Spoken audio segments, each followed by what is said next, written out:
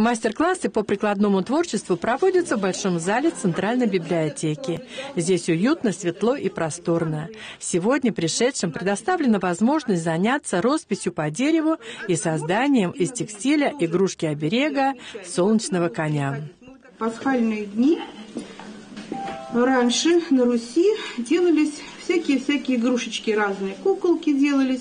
Конь – это одна из куколок народных делается методом скрутки. Валентина Душко занимается с детьми декоративно-прикладным творчеством 25 лет. Через ее руки прошло не одно поколение желающих научиться мастерству. Ребята, которые посещают ее занятия на постоянной основе, многое умеют, а вот кто приходит на мастер-классы, им, конечно же, сложнее. Они познают народные традиции, они познают э, мир наших бабушек, уже и дедушек, и прапрабабушек, прапрадедушек. Им нравятся эти игрушки. Вот я неоднократно видела, когда дети с, дел, сделанной игрушкой играют вот на площадке, на детской площадке. И эта игрушка у них в руках. Очень приятно бывает. Сегодня ребята и взрослые делали солнечного коня. На Руси считалось, если сделать эту поделку своими руками в преддверии светлого праздника Пасхи, то весь год человек, обладатель этой игрушки-оберега, будет на коне, и у него все будет хорошо. Пока Вика Лихачева делала коня, ее мама и братик занимались здесь же, в библиотеке, росписью по дереву. Этот вид творчества также дошел до нас из глубины веков.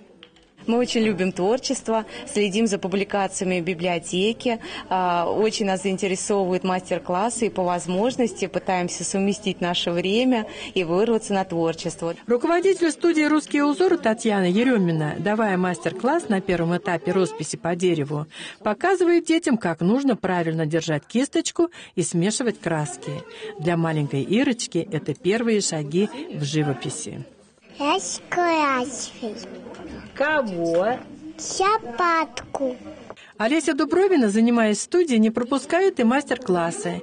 Технику живописи по дереву ей хочется довести до совершенства.